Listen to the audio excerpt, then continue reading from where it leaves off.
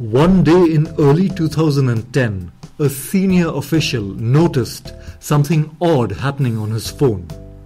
It was sending an email from his account automatically. He watched dumbfounded as the email went out to a long list of people, none of whom he knew. Seconds later, he saw the email disappear from his sent folder. Eventually, he heard from the FBI that his email account had been hacked. From a definition point of view, a hacker is someone who seeks and exploits weaknesses in a computer system or network.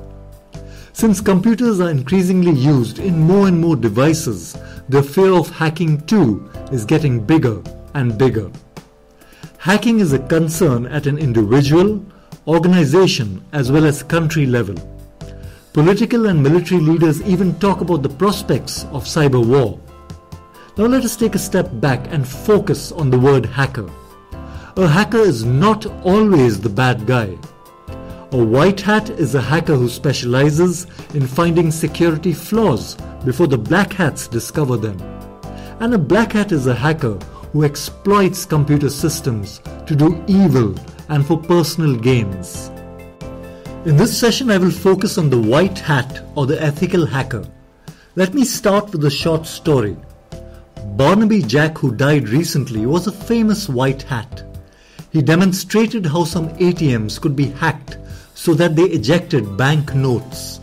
Thankfully, Barnaby Jack demonstrated this to banks so that they could fix the problem before the black hats got there.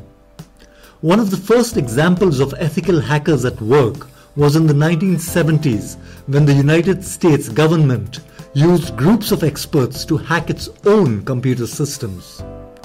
Ethical hacking is also known as penetration testing or intrusion testing.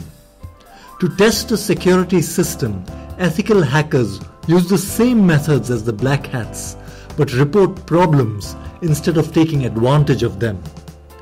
An ethical hacker also communicates test results and could provide recommendations of how the problems can be resolved. So how do you prepare yourself for this role? There are several routes, so here is one way forward.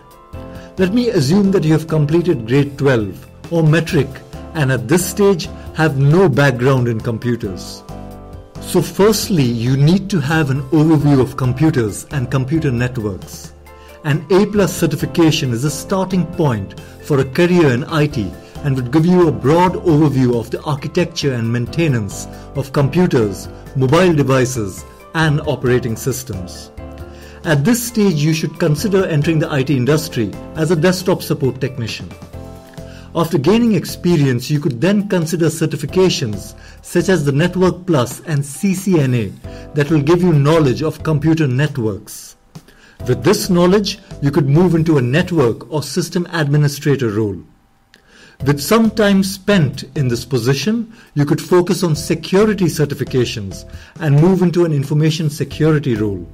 While in this role, you could focus on penetration testing and other security tools and processes. After gaining all this rich and relevant experience, you could work towards the Certified Ethical Hacker certification. At this point, you could start marketing yourself as an ethical hacker. To beat a hacker, you need to think like one, and this is exactly what this role will prepare you to do. But remember, the black hats are always thinking of new ways to win. So as a white hat, you could never sit idle. You have to be constantly updating your knowledge to defeat the forces of evil. Forbes, a respected magazine, recently rated ethical hacking as one of the high paying jobs of the future. As a penetration tester, you have the opportunity to work across a wide spectrum of industries.